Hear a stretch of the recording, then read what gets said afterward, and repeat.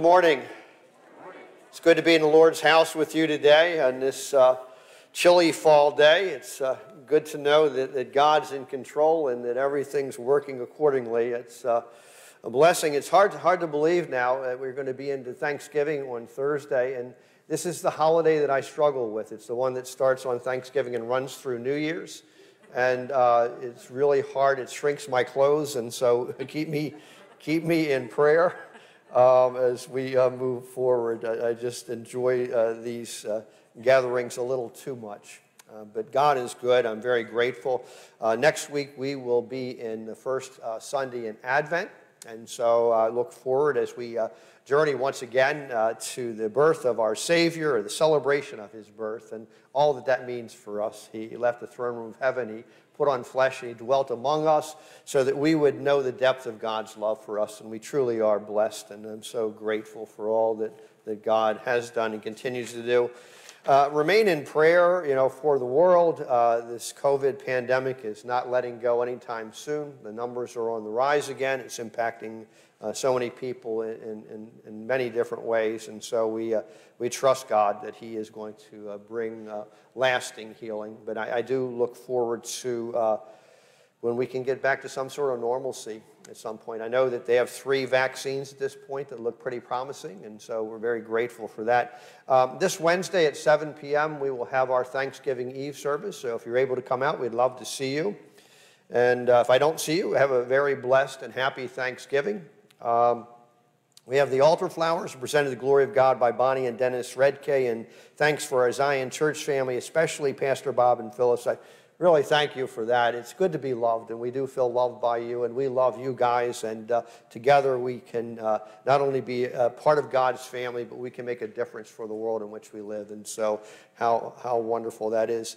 Uh, our pantry needs for the uh, month are um, listed in there. And also, uh, we are working on our uh, 2021 church directory. If uh, you uh, need to have an update uh, to the directory on the piano are green uh, slips, and then as you come in on the lectern, there are green slips that you can use to update your information. If you'd like to be included in the directory, be sure to grab one of the sheets and fill it out, and that way we can have that listed in there as another way to communicate with one another. Um, Joyce Organtini, one of our members, is out in, in New York with her daughter, and uh, she is going to be 94 on the 29th. And so you want to uh, reach out to her as you're able to. Her address is listed in the, uh, the, the uh, insert. And uh, thanks to all for all the birthday wishes for the 92nd birthday of Ivana uh, Stevens. And, and boy, what a young 92 she is. she, she is a, an amazing lady.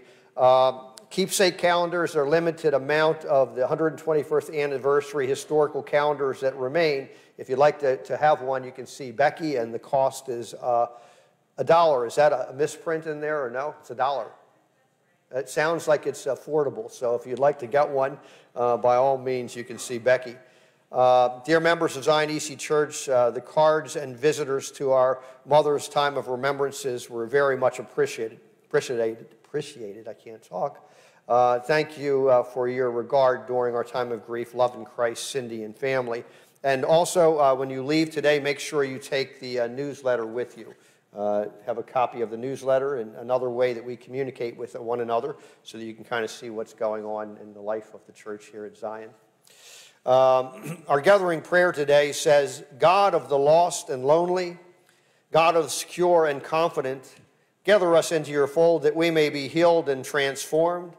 Guide us in your world that we may be part of the ministries of healing and hope. For these things we ask in Jesus' name. And all of God's people said, Amen. Call to worship, I will read the light, and you can respond with the bold print. The Lord continually watches all of God's own sheep.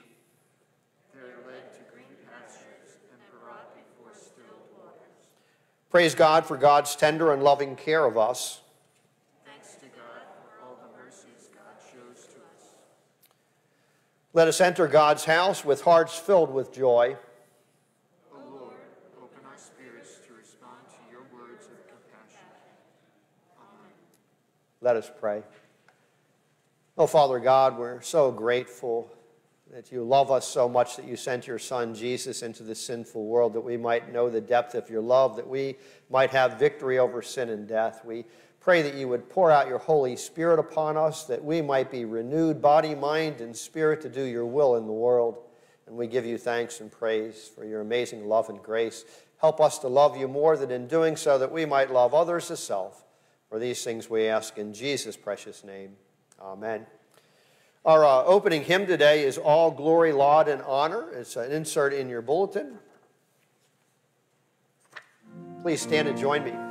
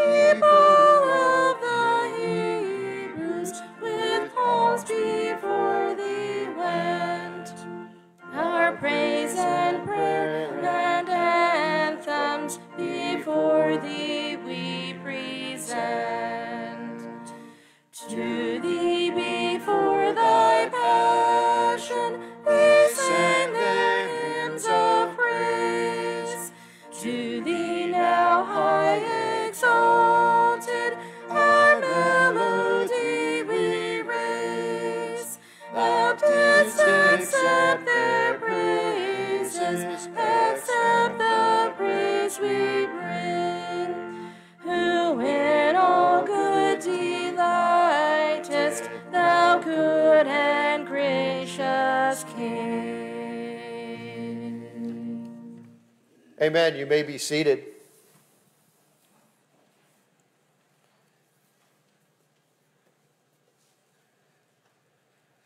We, uh, we are truly grateful um, all that you do uh, in care of God's church here at Zion. You know, it really kind of goes with our, our message today uh, that, you know, many hands make light work, and together we combine all of our resources that God has given to us and we can make a difference in the world. We make a difference in this community, but in the worldwide community, uh, we really are. It's hard to believe that this little church here in Mohnton, as we uh, connect with other churches, uh, we are impacting people all over the world. Uh, you know, churches in India and Liberia and Asia, and, and it's just really amazing to think that together uh, we're making a difference for the kingdom of God. We're reaching men and women, boys and girls for Jesus and, and we're providing that care and provision of Christ to a world that's uh, in, in great need. And you know, it's amazing as we think about a need that is out there.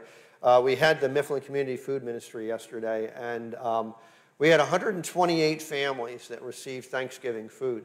Uh, that's up uh, by about 60 from last month. And so there's a great need, and, and people are so appreciative. I was out there and I was able to talk with some of the people that were receiving, and uh, they're just so grateful. Uh, we had 15 new families and two families facing emergencies that they were able to care for. And that's just one way that we as a church are, are meeting the needs uh, of so many. And, and, so, you know, your giving of time, talent, and treasure is truly making a difference. So thank you so much uh, for all that you do. Let me pray with you. Father God, we pray your blessing upon these offerings today. We pray that you would bless the gift and the giver as we continue to lift up the name of Jesus to a world that's lost in sin, to a people walking in darkness in desperate need of a Savior, but more so that they might uh, just be able to receive your grace, your love, your provision, and the fellowship of uh, those that see Jesus as Savior and Lord. It's in His precious name that we pray. Amen.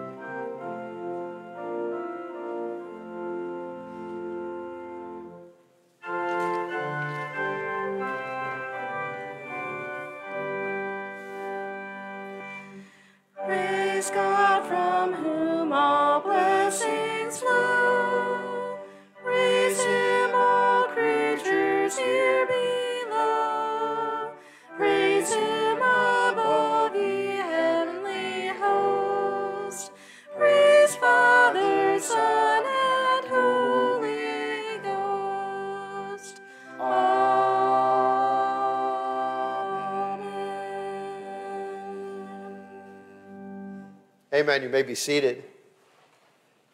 You know, it is just so great to know that no matter what we're facing, that we're not facing it alone. Uh, we have a God that's promised to never leave us nor forsake us, a God that promises mercies that are new every morning. I, I know um, in my clinical studies, I'm able to see in the, the, hospital setting that the numbers of COVID patients are rising. And uh, the, the, good news is for most people, it's not real severe, but for some, it is, is, is critical and, and, and life threatening. And, and so we continue to pray that God will bring healing to the world. Uh, received news this morning that uh, Pat Benedict, a dear friend of mine in Ohio, where I pastored for a decade, uh, has come down with COVID. And uh, also, Bridget, uh, who is uh, Joan Croson's granddaughter, uh, has COVID, but a very mild case of it. So we want to continue to pray uh, for those that are dealing with COVID. Uh, God is, is in the healing business, and He is uh, providing miracles each and every day. Uh, I was able to talk, talk with uh, um, John Ragsdale, Reverend John Ragsdale, this week. he, his hip surgery went well. He's back home with Myrtle and uh, they are going to do in-home physical uh, rehab. Uh, it'll probably be three weeks to a month or so, he's thinking. So you want to keep uh, John and Myrtle in prayer. Uh, received word that Lynn Campbell's procedure and Robin Lash's procedure went well. So praise God that he is bringing healing. And uh, Marilyn Toy is on the mend as well. And so you want to keep Marilyn in prayer as well as the others on our prayer list and those that the Lord lays on our hearts and on our, our, our minds. Uh, you know, the prayer of the righteous truly is powerful and effective. Uh, we need to be prayer warriors. We need to be in prayer for the condition of our world. I know it was my prayer early on that through this COVID pandemic that it would be the catalyst to have people drawing closer to the Lord. And, um, and it, it, it may well be, but I still see an awful lot of people that are angry and anxious and, and kind of pushing, pushing away uh, the things of God. And so uh, God help us. I pray that God will, will do all that we need, but in His way and in His time. And I know that He is doing that. Let us pray. Father God, we uh, come together today, and we, we are a sinful and oftentimes stubborn people. Forgive us for uh, not doing the things that you call us to do at times, and, and other times we, we just uh, we seem like we're out of energy. We're, we're, we're struggling. We're facing battles spiritually and physically and financially. We just pray that you would help us. Help us in our time of need. We pray that you would bring healing in the world, uh, especially to those that have been impacted so greatly by this COVID pandemic. We uh, pray for, for Bridget and Pat and so many that, that are there that you would uh, just have your hand of healing and provision upon them. We thank you, Father, for answered prayer. We, we thank you that you meet us in our time of need. And so be with each person on our prayer list. Uh, we continue to lift them up to you in your care. Uh, we pray, Father, for those in the hospital and nursing settings that you would be with them, and for our shut ins that aren't able to be here. We pray for our missionaries and the missions that we serve throughout the world. How, how good it is to know that we can uh, partner together, that we can make a difference in the lives of men and women, boys and girls. And so thank you, Father, for that uh, wonderful privilege we have to, uh, be able to seek you, to serve you, and proclaim you in the world in which we live. We uh, pray, Father, for our military men and women throughout the world, that you'd watch over and protect them and uh, be with them as they uh, celebrate Thanksgiving, especially those that are overseas. I, I know what that's like firsthand, and yet I know, Father, that that is a blessing together with brothers and sisters in arms. And so, Lord, be with them, protect and provide during this Thanksgiving, and may we truly be grateful for all that you have done for us. We, uh, we thank you for our daily bread and so much more. And we, thank you for your Son, Jesus, as our Savior and Lord, who taught the disciples to pray, saying, Our Father, who art in heaven, hallowed be thy name. Thy kingdom come, thy will be done on earth as it is in heaven. Give us this day our daily bread. Forgive us our sins as we forgive those who sin against us. And lead us not into temptation, but deliver us from evil. Thine is the kingdom, and the power, and the glory, forever and ever. Amen. All right, our um, praise hymn today is Here I Am, Lord.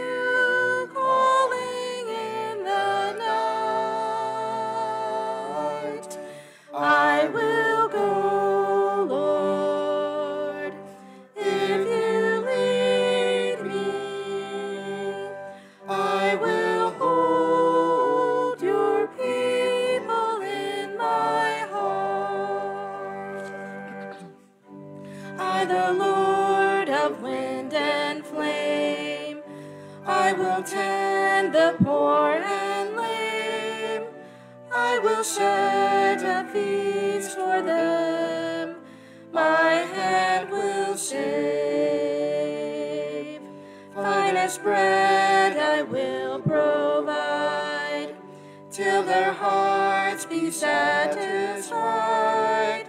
I will give my life to them. Whom shall I send?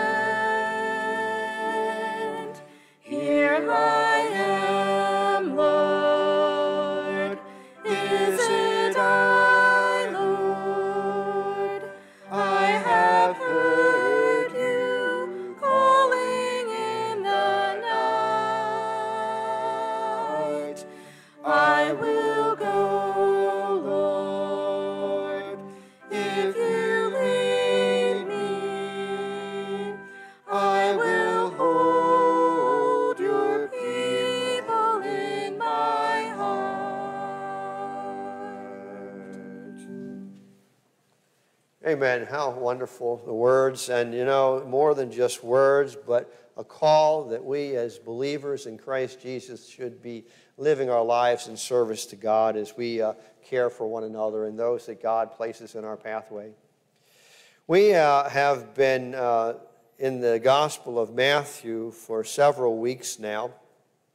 And, um, you know, Jesus is journeying closer and closer to the cross. It's uh, Thursday, you know, Friday is coming, and the crucifixion, and all that that will mean for him, and the suffering and the agony, but the joy the joy of laying down a life with the realization that he is redeeming mankind, that uh, our sins are not only atoned for, but that we are not only forgiven, but we have victory over death as well. We have the rights and privileges of heaven as God's children, dearly loved one day. And so that's the blessing, that's the good news. And Jesus is the way, the truth, and the life. And no one comes to the Father except through him. And so we continue on in that journey today. But before we do, could I ask for uh, someone to offer a prayer for the message, please?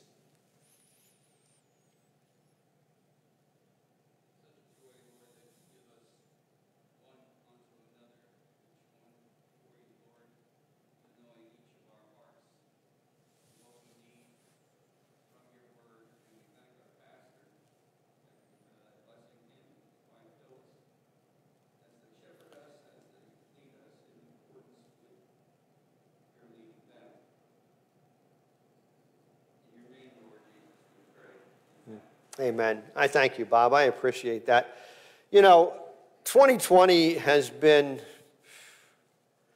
what a, what a difficult year. I'm, I'm not telling you, I'm just commiserating out loud with you. Uh, and it seems like it's one thing after another. But even if you take 2020 out of the equation, you know, our world is spiraling out of control. Uh, people are lost and in desperate need of a, a Savior. And so many people are, are, are, living lives without a thought about tomorrow, without a, a, a, thought of their desperate need for God, a God that loves them and a, a God that's reached out to them through His Son, our Savior. And, and a lot of people kind of think, well, you know, I've got tomorrow.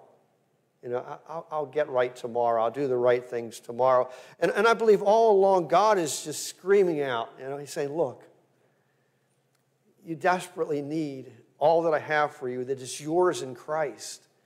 And, and, you know, we have done such a, a, job in this nation to push God further and further away. We're reaping what we have sown. And still, people seem to be oblivious to their great need for God, even in this COVID pandemic environment in which we're living.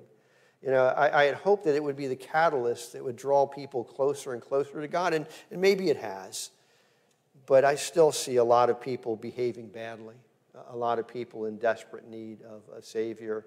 And, you know, it really is incumbent upon us as the people of God. You know, the church is His vehicle to transform the world. He did it with just a handful of apostles, and He does it with us today. We open our doors to, to make a difference, make a difference in this community and the world, worldwide community in which we serve and we each have a part to play in that. And, you know, in our, our passage of scripture that we're going to look at today, it's part of the Olivet uh, discourse where Jesus is speaking about end times and the implication uh, for the nation of Israel and for those that have followed Christ.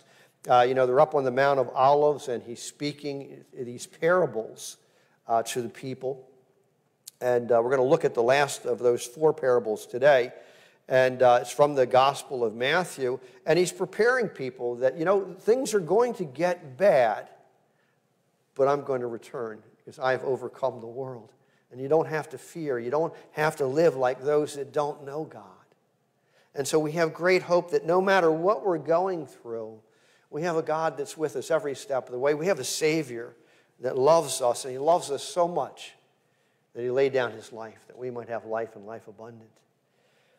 You know, just as a segue into our passage, let me give you some background information. In the Gospel of Matthew, in chapters 24 and 25, Jesus is teaching on the Mount of Olives about end times. It's that big word, eschatology, that we talk about. And it is the study of, of nature, all that's happening that leads up to the second advent when Christ returns one day. And, you know, we can see the signs. And, and while we don't know the day nor the time, we know that God is working out his plan, and God the Father will send the Son into this world again one day, that all the enemies of God will be put under his feet. And, and so we're to, to be ready, we're to watch and to wait and to prepare. And so Jesus is teaching about the future plan for Israel, and he's speaking about God's judgment. And you know, it's not a popular topic today. Uh, in a lot of our mainline churches now, they've reduced the Word of God to uh, being God is love, and therefore we're not responsible for sin.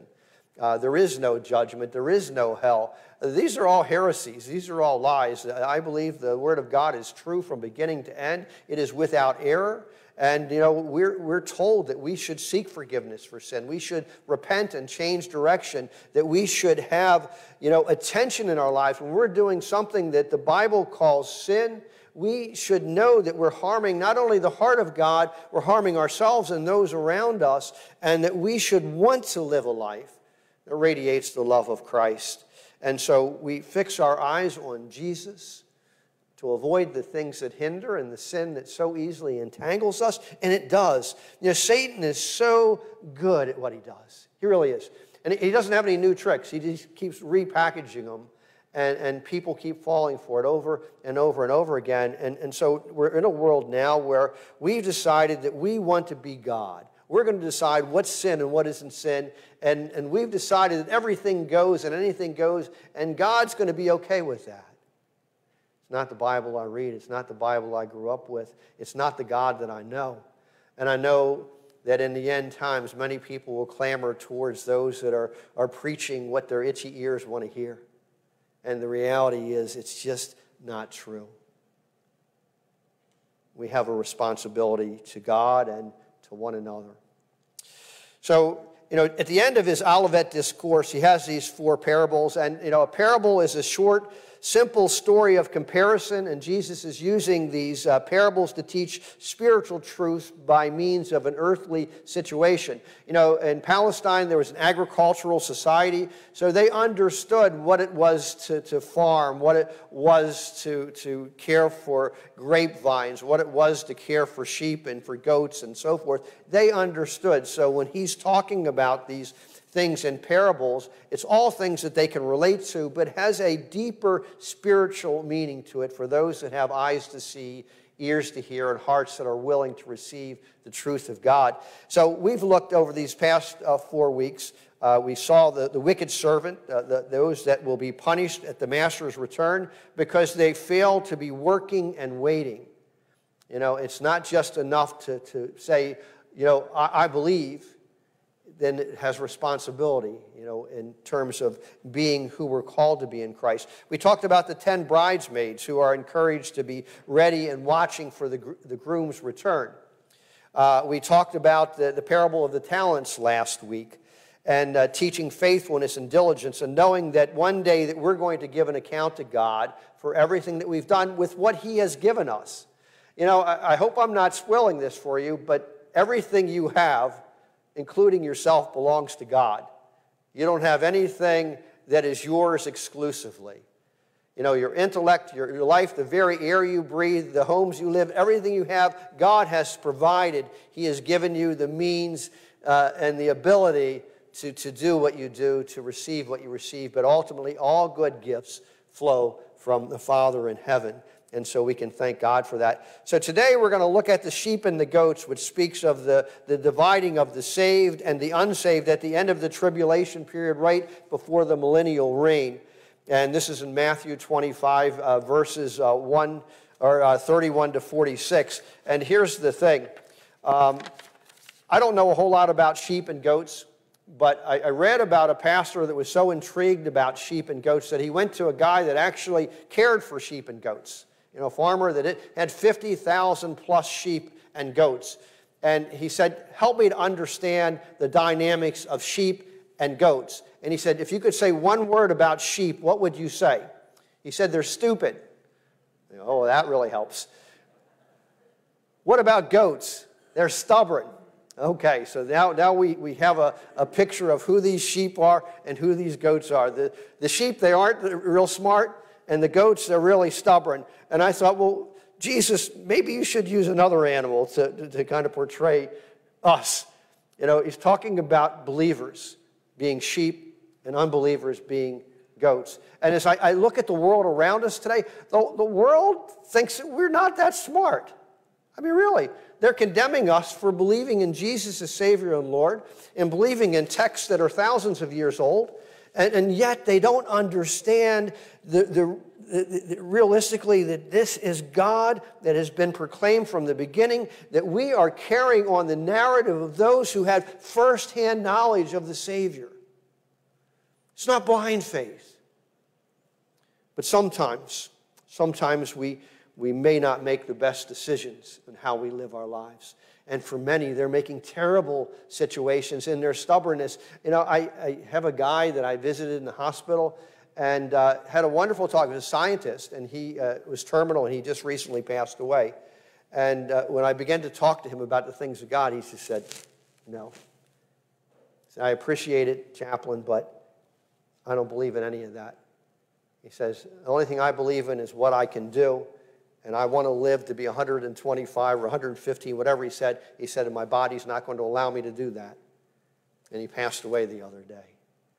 And I thought, how terrible it must be to, to go to our dying breath and still denying a God that has revealed himself in so many ways. You know, if we didn't have the, the Word of God, if uh, we, we didn't have all that the Savior has done, we can see in creation there is a Creator.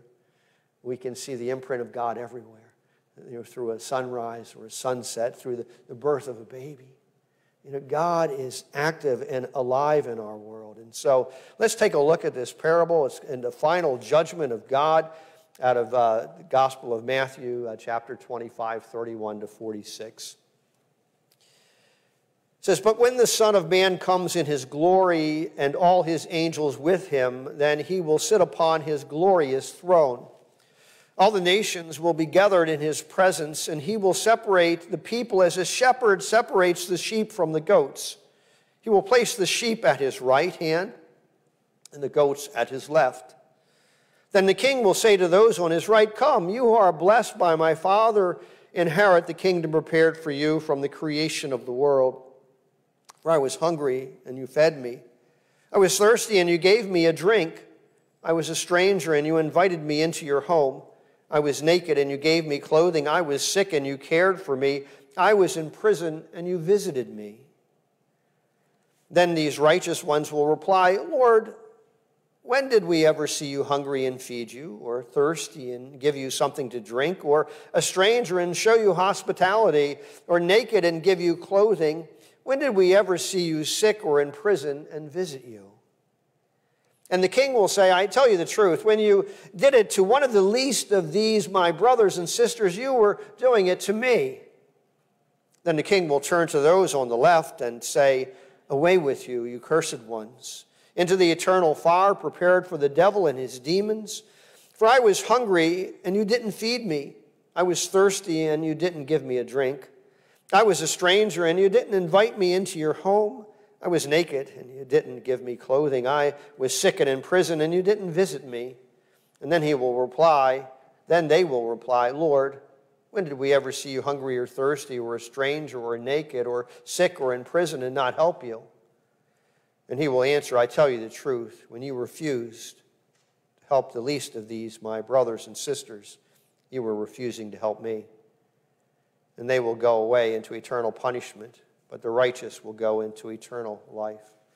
This ends our reading of the Word of God. Jesus is going to return one day, and you know, could be today, could be next week, it could be a thousand years from now. But God's timetable is in place, and things are working out as God has said they would, would work out. We we see a world that's at odds with one another, brother against brother, you know, nation against nation, wars and rumors of wars, natural catastrophes. You know, the world is indeed spiraling out of control. But our God is in control. And, and so Jesus is going to return one day in glory to set up his kingdom. And this is the beginning of the millennial reign after the tribulation. And the Word of God tells us that believers should be ready for his return. And we've been talking about this for weeks now, that we should be ready and we should be preparing and waiting, you know, for that day. And we should be busy, you know, during that time. You know, I, I, know that in the end times it will be very difficult for people to be saved. Not impossible, but very difficult. And, and I see how difficult it is in the world today around us that so many people are resistant to the things of God. And even if they, they say that they're spiritual or I believe in God, when you start talking about Jesus, a lot of people kind of say, no, you know what, I, I really don't want to hear about that. God help us because our Savior is going to return. And, and so we need to be ready, we need to be watching, and we need to be working. You know, salvation, the gift of grace, is free. It's free for the asking. You know, being a disciple, being a follower of Jesus takes effort. You know, it, it's not something you get by osmosis. It, it takes a, a, a relationship with our God through His Son, our Savior. And, and we need to, to learn to love God more and more so that we might love one another, so that we might see a sense of urgency, not to reach men and women, boys and girls for the cause of Jesus. Certainly that's our ultimate aim, but to care for them as we've been cared for by God. You know, religion that God our Father accepts as pure and faultless is this, and this is from the book of James, chapter 1. Says, to look after orphans and widows in their distress and to keep oneself from being polluted by the world. I think that what a, what a great passage that is as we have it in perspective that this world is polluted by sin.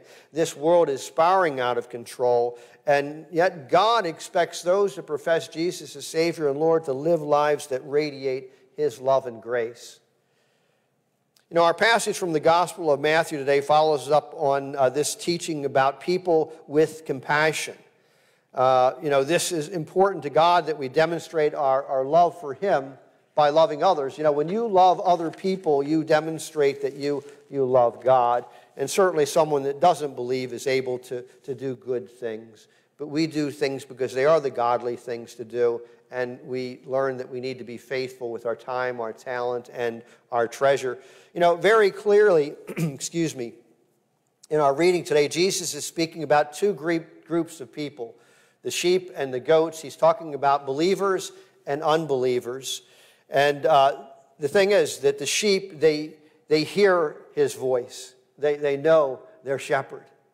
And the goats want nothing to do with God or God's people. And uh, it, it's sad that, that everyone has the same opportunity. The grace is sufficient for all of mankind, and yet we have this thing called free will, and, and not everybody readily receives this gift of grace this gift of love from God and the right to have all of that God has for us in eternity one day. And it, it breaks my heart that uh, so many people want nothing to do with God. And it, Satan is so good at what he's done that so many people that once even professed are now beginning to deny the things of God. And I, am just amazed that I, I, run into people in their 70s and 80s and tell me, and I don't believe in any of that. And, and, I, and a lot of times I'll say, well, you know, when you were growing up, did you go to church or Sunday school? And say, oh, yeah, you know, my, my mom did it. And I just, I just don't believe anymore. And, uh, you know, it's, it's so sad because I know that if you're really looking for God, you're going to find him. You can just ask Lee Strobel or you know, C.S. Lewis if he was alive. They were both atheists that found that there is God. And they found it in the Word of God, trying to deny that there was a God. And so our God is active and alive, but we have to be receptive to all that He has for us in Christ. You know, Jesus is going to return one day, and every nation in the world, every person will bow, every tongue will confess that Jesus is Lord. You know, in Scripture, we see three judgments that are going to take place. And the first is the judgment of the nations, which Jesus is talking about. He's going to judge the nations and uh, where Christ is going to sort out those who have followed him from the wicked of the world. The second judgment, uh, you guys will all be a part of that, the judgment seat of Christ, where believers will review their lives, where we will give an account of our lives. The things we did, the things we didn't do, the good, bad, everything in between, we're going to give an account. Uh, for those that are pastors in, in God's church, we're in a special line in, in heaven, and we're going to be judged even more strictly. And so, what I say to you, what I do for you, is very important because I realize that I'm going to have to answer to God one day for that. But you too will give an account of your life one day. And then is the judgment of the great white throne, where God will take Satan, all of his minions, and all of those that have denied him and cast him, them away into the lake of fire. And they will be separated from God and the people of God for all eternity. And Jesus says there'll be gnashing of teeth. You know, it will be a, a sad place to be with the realization that you had an opportunity to receive this precious gift of grace and you refused it. And many are refusing it today. You know, I'm sure that um, for some churches that are, are, preaching the message that you can live any way that you want and God is love and everybody goes to heaven, that hell is not a reality, it's not a real thing, uh, that they may get a few more people in their pews. But the, the reality is they're sending more people to hell than ever. And it's happening today all throughout our world, in this country, uh, in, in many mainline denominations today. And, and so, God, God forgive us, God help us. And the reality is, we will be judged. Uh, the sheep are the believers. They've trusted and they've lived their lives for Jesus and they're the ones who are, are, living in anticipation of his return one day. You know, I came in at 6 o'clock this morning and the boiler and the hot water heater wasn't working, I was saying, Lord, today would be a good day. You know, come back today. Uh, and thank God that we were able to get somebody in and get things fixed. You know, but the reality is that pales in comparison to all that's happening in this sinful world right now. And so if Jesus returned today, I would welcome that return. My biggest heartache is for those that I know that refuse, refuse Jesus as Savior and Lord. They just kind of think that they, they've got it all under control. And the, the reality is, is that one day, you know, too soon, uh, many realize the error of their ways. So the goats are these non believers, these people that never had time for Jesus. They refused his offer of salvation in their lives.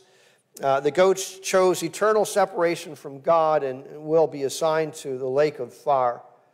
And uh, I, I just, I don't understand it. I, uh, you know, been in dialogue with a, a gentleman out there that packs people in his church, you know, about 4,000 every week.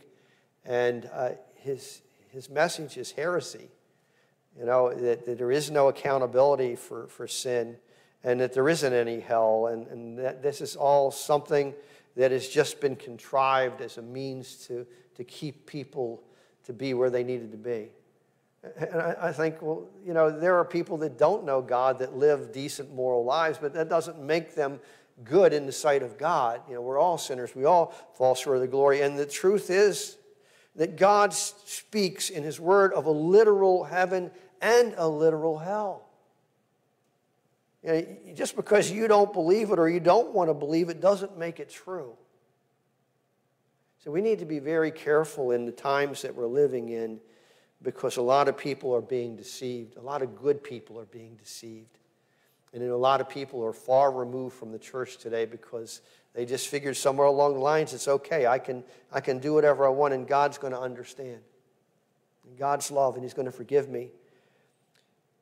Now, one thing I want to make clear is that this passage is not speaking about good works that lead to salvation because we know before the creation of the world, God knew who was going to receive his son as Savior and Lord, right? And he knew who was going to reject him. So it's not that. You know, Paul tells us in Ephesians, For it is by grace you have been saved through faith, and this is not a gift uh, of yourselves, it's a gift from God. It's not by works so that no one can boast. You know, salvation should lead us to good works. Salvation should lead us to, to love God so much that we want to care for those that God cares about. And so this is one of those sobering parables that, that really, uh, I think some people can walk away from and feel really guilty about. And, and I think if you take anything away from the message, understand that it's nothing that we can do to earn our way into heaven, and we need to be working at it. You know, and, and as long as you're conscious that you need to be working at it, and you know, Jesus isn't saying that you need to be able to perform brain surgery, you need to be able to do these uh, amazingly difficult things. He's talking about things that any of us can do. It doesn't take a lot of intellect, it doesn't take a lot of money, it, it, does take a little bit of time and effort, but it's something that we all can do. We can visit the sick. We, we can give clothing to those that need clothing. We can give food to those that need food. We, well, we used to be able to visit people in hospitals and, and nursing facilities. Not quite as easy today. But the truth of the matter is, we can still send cards, we can do phone calls. See, there's simple things that we can do to demonstrate that we love God and we love one another. And see, that's the key is we have to begin to love God. You know, according to Jesus, the sheep are those who heed his call in their life and those who will receive an inheritance of the kingdom of God, which was prepared for them before the creation of the world. Jesus, shortly before he ascended to heaven, told the disciples, He said, I go to prepare a place for you. That where I'm at, you will be also. See, followers of Christ Jesus, we're destined for greatness, we're destined for glory, and all that heaven affords us in Christ and our loved ones that have gone before us by faith. And so, what does it mean to be a follower of Jesus? Does it mean that we say a prayer and then live in the world any way that we want to live? Does it mean that we never lift a finger to bear fruit that will make a difference for the kingdom of God? You know, it's by faith that we're saved, and true faith produces good works, and uh, that's the reality of it. And here's the thing you know, I, I was so overjoyed when uh, Pauline gave me the report from yesterday 128 families.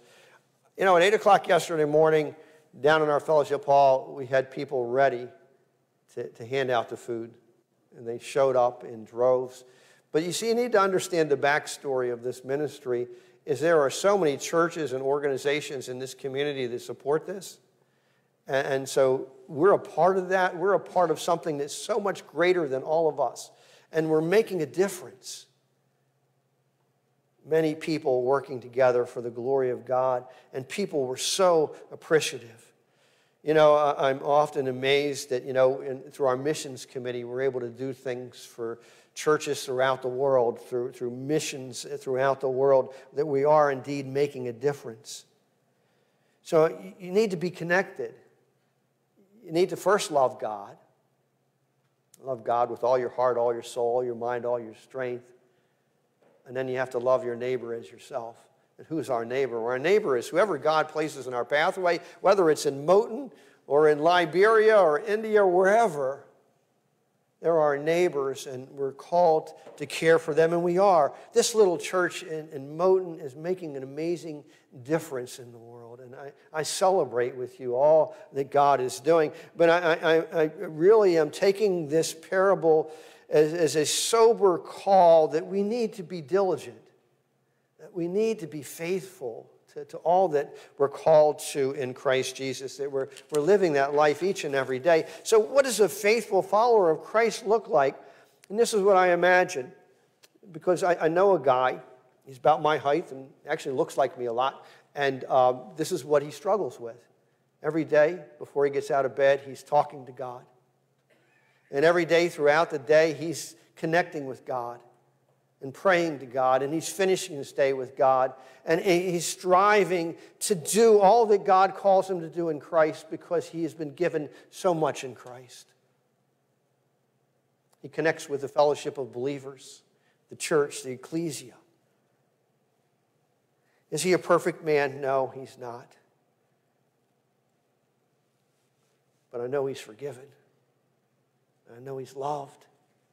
And I know that he alone can do some good things. But I know together he's doing some amazing things. We're all related to this guy. We're all brothers and sisters in Christ. You know, Scripture tells us that we should be our brothers and sisters' keeper. We should care for others in the family of God. We should care for pre Christians as well.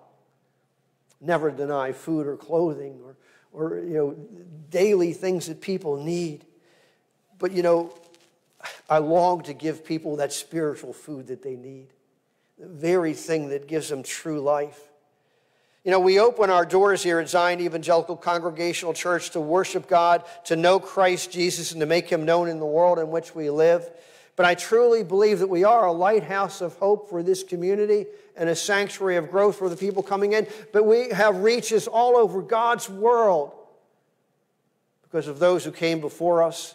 And the Lord tarries those who come after us, those that see the benefit in loving God and loving one another and giving time, talent, and treasure.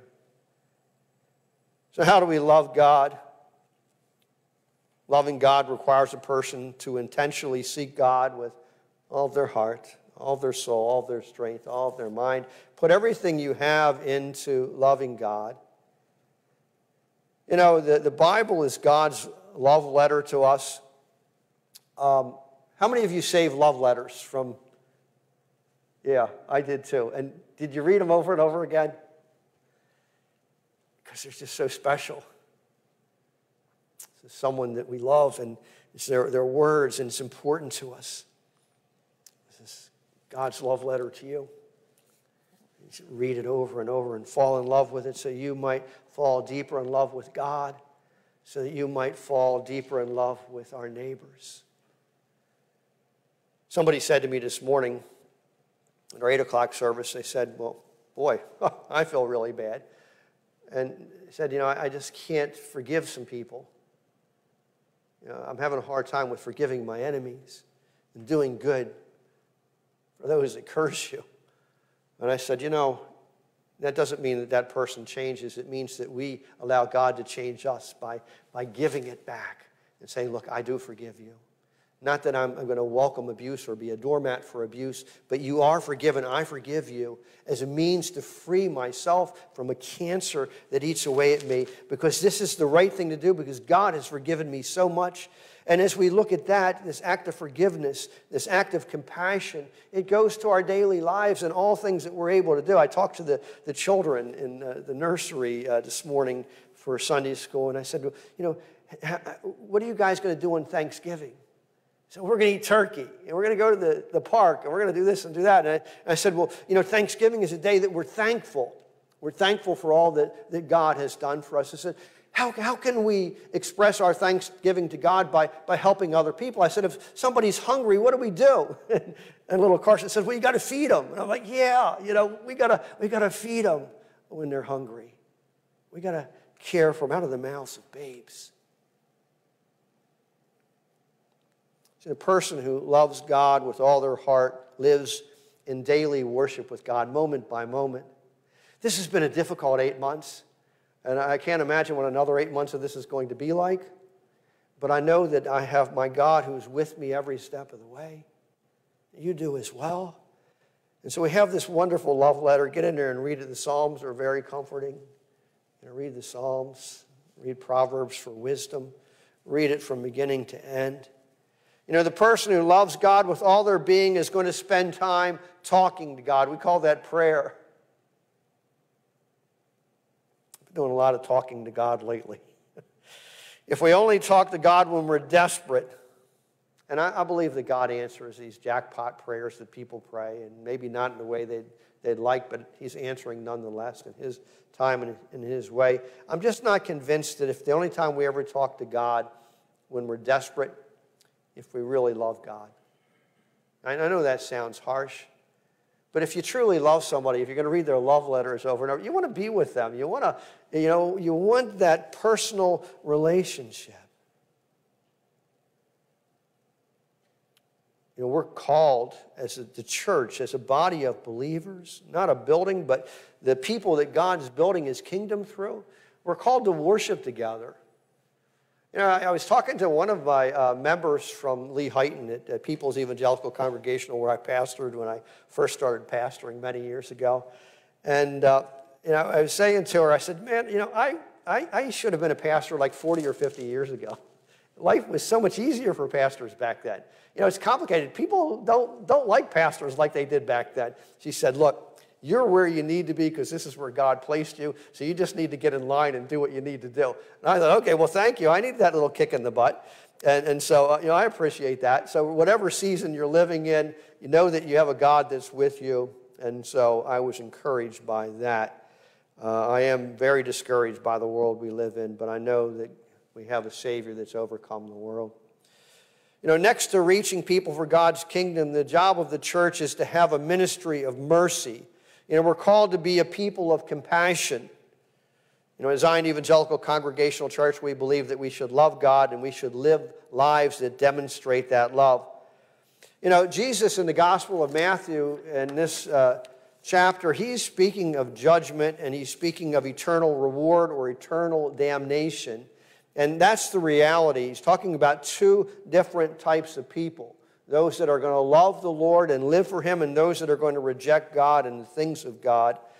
And uh, so we need to make sure, and Jesus qualifies this, and He's talking to the believers and to the non believers. And to the believers, He says, Look, for I was hungry, and you gave me something to eat. And I was thirsty, and you gave me something to drink. I was a stranger, and you invited me in. I needed clothes, and you clothed me. I was sick, and you looked after me. I was in prison, and you came to visit me. And like I said, these are all achievable things. It's something that all of us can probably do. And the reality is, they're saying, well, when, you know, when did we see you going through all this? And he says, you know, what you've done for the least of these, you've done for me. And, and so, you know, what we do is in service to God. And so part of serving God is by using our talent to make a difference for his kingdom. So many talented, gifted people in the world that are so willing to give their time for secular causes. And, and you know, they need help, I get it. But the church is suffering so much today. You know, I talked to, to uh, Pastor uh, John Philippi, who pastored here in the 70s, and he, he talks about the days when this church was overflowing with people, top and bottom. It was a different world back then. You know, and so we still have lots of people in the world, but what we have is more and more people that want nothing to do with God. They want nothing to do with the things of God. And so, sadly, many of those people will go to their dying breath like this poor gentleman did. I, of course, I don't know what happens in the final moments. I'm convinced that God never gives up. And to our final breath, I know He's reaching out to us. So perhaps maybe this gentleman in his dying breath said, God, help me. But there are going to be many in the final days They're going to say, Lord, Lord, I did this and I did that. And He's going to say, I don't know you.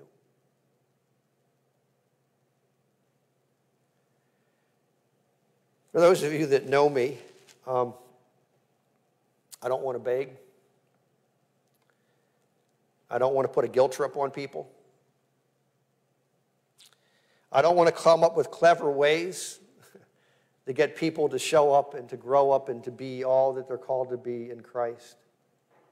And you know, I, I feel pretty good that we have a, a, great core group of people here at Zion that are doing amazing things. And I, I thank you really from the bottom of my heart for for all that you're willing to do. And, and, you know, I can tell you right now, the world outside of our doors is dependent upon us to be the church, to not only meet their physical needs, but to tell them the truth of God. You know, we need to take to heart the words of Jesus. Truly, I say to you, as you did it to one of the least of these, my brothers and sisters, you did it to me. We need to, to give until it helps, until it makes a difference. Knowing that we're going to give an account one day, but we're not doing it because we're afraid of that day.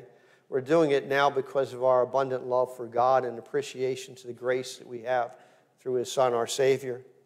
So, whatever we do for others, it's as if we were doing it for Jesus Himself. You know, neglecting our brothers and sisters in Christ is neglecting Jesus. And he says failure for us to show compassion is to show that we don't have true salvation, and judgment awaits all of those who waste their time, their talent, and their treasure. That's what all these, these four parables have all been about that. You know, squandering away our time and our talent, not being prepared, not, not anticipating the return of our Savior. Loving others is loving God. Serving others is serving God. We all need to be good stewards of time, talent, and treasure, and it takes work. I get it. But you know what? You're either in the game or you're not. You're either working at it, working at working at it, or you've given up. We need to continue to stay the course. We need to continue to keep our eyes fixed on Jesus. We're all going to come before God one day. We're going to give an account of our lives. And, uh, you know, I just I thank God for the privilege that we were able to work together uh, to do amazing things for God's kingdom. I, uh, you know, I get to see what you don't see. And I get to see the stuff that goes on behind the scenes. You know, people that are showing up and doing things and helping out and, and is doing amazing things for God's kingdom. People that are dedicated to the cause of Christ in the world. And a lot of that goes unbeknownst to most of us, but God sees and God knows. And I appreciate, I know God appreciates all that we do for his kingdom because you know what? The world is in desperate need. And so help us to be faithful until God calls us home or he returns one day. Let us pray.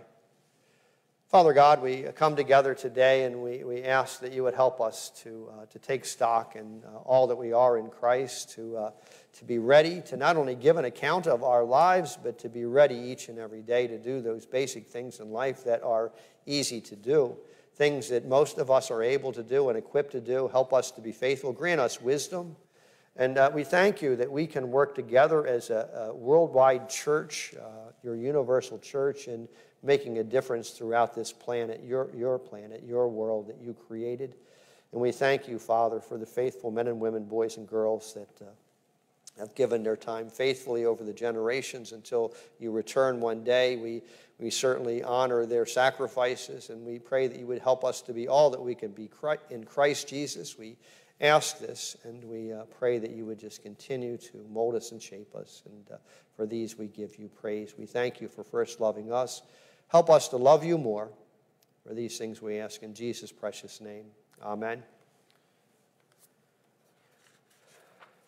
Well, next week is Advent. It's hard to believe when you come in next week we will have things decorated for Christmas. Uh, it's not going to be as decorative as it has been in the past, but uh, we certainly will uh, begin to sing the hymns. We will begin to anticipate once again the birth of our Savior. And so I invite you into our, uh, our Advent time of worship as we journey towards Christmas once again. Our uh, closing hymn today is Ye Servants of God. Please stand and join me.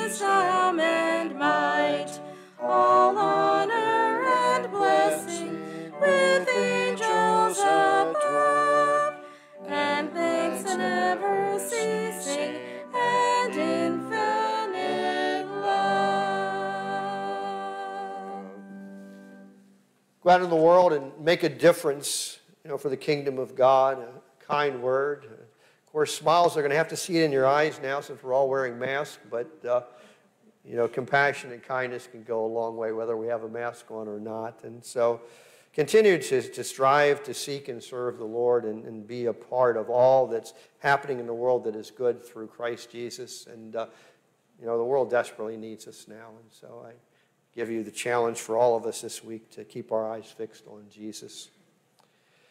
Now, to him who is able to do immeasurably more than all we ask or imagine, according to his power that's at work within us, to him be glory in the church and in Christ Jesus throughout all generations, forever and ever.